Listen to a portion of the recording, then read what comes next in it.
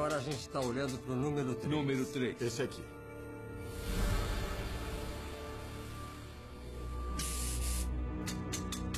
Quando a câmera se aproxima do último ossário, a equipe sente como se um raio tivesse caído duas vezes no mesmo lugar. Oi, oi, espera, para, espera, para. espera, para, para, para, para, é uma escrita.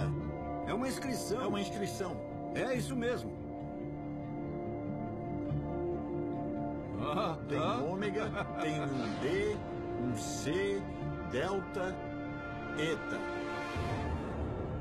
A inscrição está em grego, a língua dominante dos ricos de Jerusalém no século I depois de Cristo.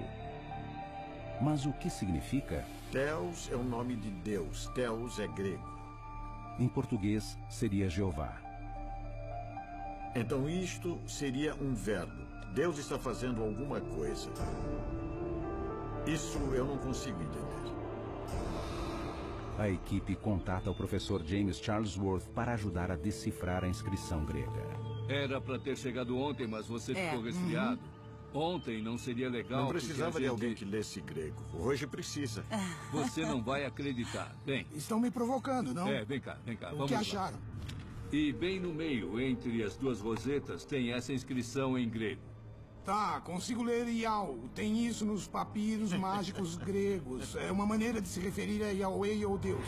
Aqui está em grego, em uncius, que significa maiúsculo Yao. E acima eu acho que pode ser Dios. Uh, Deus ou Zeus, agora é Yahweh. É isso aí. E upso, que pode estar relacionado à palavra grega upsoteo, que é levantar-se. O quê? É, é isso. Upsilon, psi e ômega. Seria úncio para upso que no Evangelho de João é usada para a ressurreição de Jesus. Upso ele se levantou. Eu me levantei, disse Jesus. Eu me levantei, eu me ergui. Upso e o resto eu não sei, pois não consigo ler.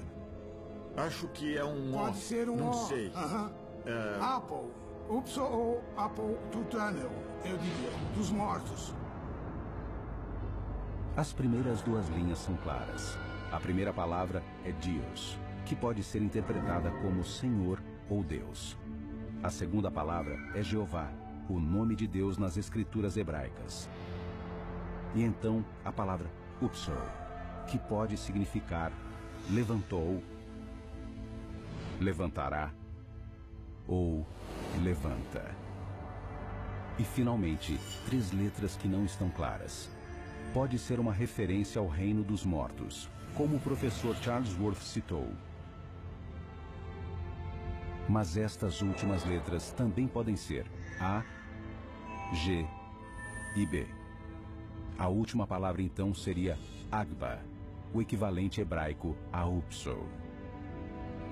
Neste caso, a inscrição seria translinear: grego, hebraico, grego e hebraico, que pode ser lido como Deus, Jeová, levante, levante. De qualquer maneira, é um apelo à ressurreição